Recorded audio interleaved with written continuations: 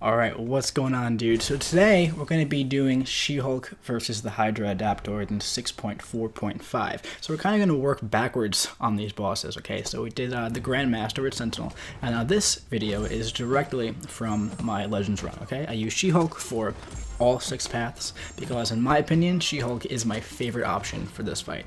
Um, some other fantastic options are of course Stealth Suit Spider-Man and Captain America Infinity War, they both absolutely get the job done, but I love She-Hulk for this fight for a couple of reasons. Well first of all she has incredibly easy access to the slow debuff on her heavy attack, okay?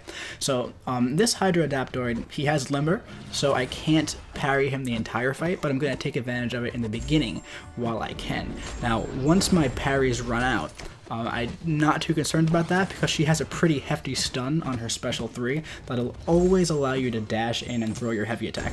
Um, so in the beginning, the plan is kind of like this. Build up those Furies as much as I can. Okay, now we have the Matador node, so every time he throws a special attack, we're going to gain a bar of power. So when you toss a special 1, you have a 100% chance to gain one of her Fury passives, and every time you hit them, you also have a chance to gain a Fury passive. So I just want to get those up as fast as possible um, before I start life chaining those special threes. That way I can just start hitting as hard as I possibly can.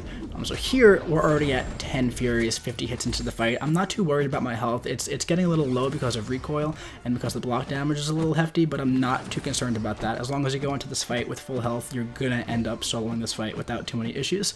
So here he has the Unstoppable buff, okay? So I'm throwing off my Special 3. I'm slamming the guy to the ground, and I'm going to spin him around and throw him into the wall, and now he's going to be stunned, okay? So I'm going to dash in right away, and I'm going to toss my heavy attack. Alright, now, bait out that special attack. I'm at 17 Furies, okay? Bait out another one, throw a special 2. Now this one doesn't crit at all, but we still do 50,000 damage on the special 2. Now, bait out one more special 1 here. See, I still have enough time to heavy after my parry when he has 13% health left. Bait out one special attack, go in, full 5-hit combo, toss off the special 2, 150k special 2. Done quick and easy. She-Hulk, my favorite option for this fight. The guy is dead in 120 seconds. What else could I possibly ask for?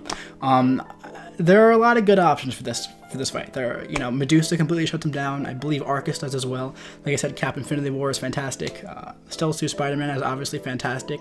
I'm sure that Spider-Gwen will also be great, but I'm just a really big She-Hulk fan, and I was really looking for an excuse to rank her up. You know what I'm saying? So guys, if you enjoyed this fight with She-Hulk, go ahead and give it a like, subscribe, comment.